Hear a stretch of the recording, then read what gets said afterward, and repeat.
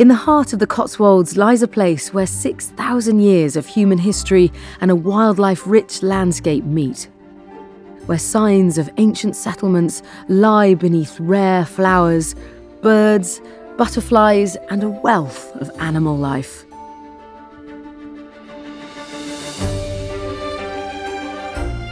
Welcome to Greystones. I'm lucky enough to have seen a few picturesque spots around the country, but this place is quite special. The river over there attracted livestock farmers back when cattle were first domesticated. They'd have built defensive settlements up here on this higher ground.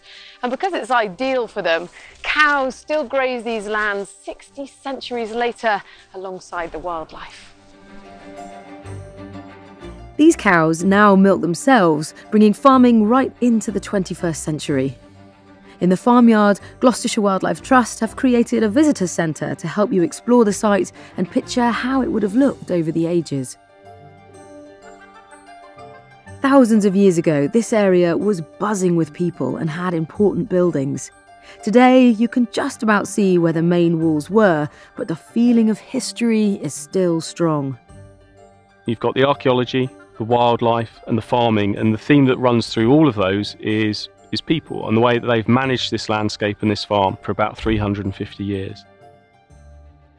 Down the lane from the farm towards the meadows, Gloucestershire Wildlife Trust staff, along with dozens of local volunteers, have built a replica Iron Age roundhouse.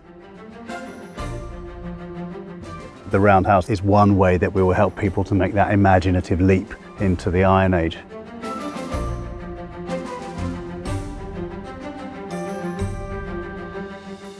We can bring school groups here and we can show them how people in the Iron Age were living, how they're forging metal, industry, trading. So all these elements you can sort of demonstrate uh, using the, the Iron Age roundhouse and the area around here.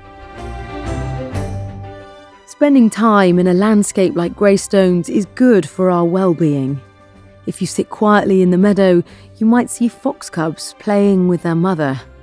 This year, she raised her family just a few yards from the river. Or you could hear a water vole leaving the reeds.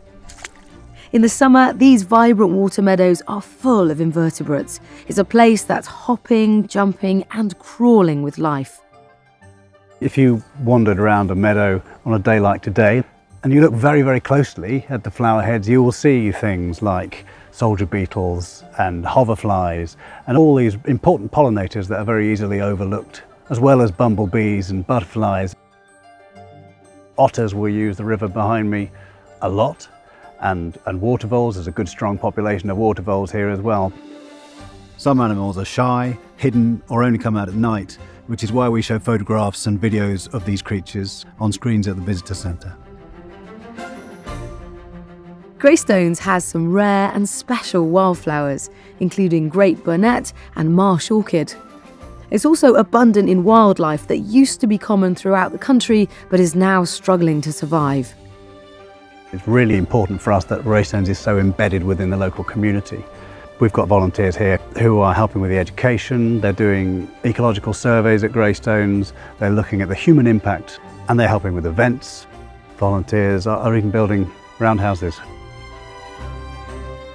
People come to Greystones for all sorts of different reasons for peace and quiet, to learn on one of our many courses, to have fun with their children, or even just to walk their dog.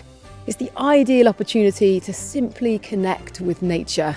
All of us at Gloucestershire Wildlife Trust warmly welcome you here and hope you enjoy experiencing this beautiful place.